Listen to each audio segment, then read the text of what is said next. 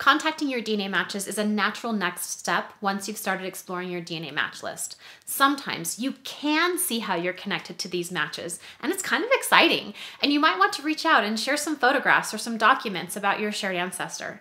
In fact, just the other day, my mom got a new DNA match from one of her cousins, and he shared with us the most precious stories about how when he was a boy, he used to go and visit their shared ancestor. He told us all kinds of things that we didn't know before, and it was so fun to hear his perspective. But most of the time, you're probably contacting DNA matches because you don't know your relationship to them. Perhaps they haven't even posted a public family tree, so you really have no way of deciding how you're connected. In that case, you need to make sure you're reaching out to the matches that matter the most. I call these matches your best mystery matches. Perhaps you've heard of them if you've read my book or attended some of my lectures or workshops or courses.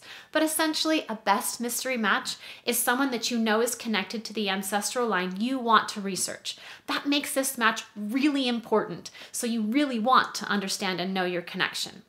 But no matter why you're reaching out to a DNA match, I think there is kind of an art and a science to this composing this first message. I like to call it a first date, as you'll see in this free download. But really, when it comes down to it, there are two reasons why your match won't respond to you. The first is because they're not even getting your message. Because our email email isn't coming directly to their inbox, it's coming through an email brokering service offered by our DNA testing companies. So most of the time when you compose that message, it comes into your match's email inbox as just a message from their company.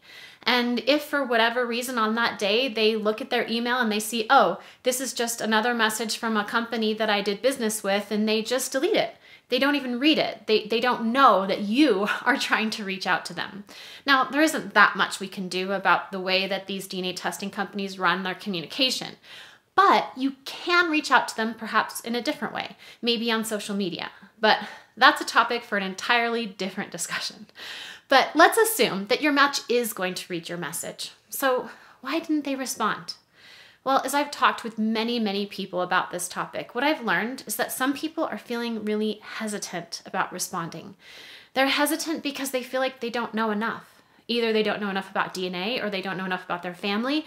And so they're hesitant to engage in a conversation with you when they're not sure if they know enough.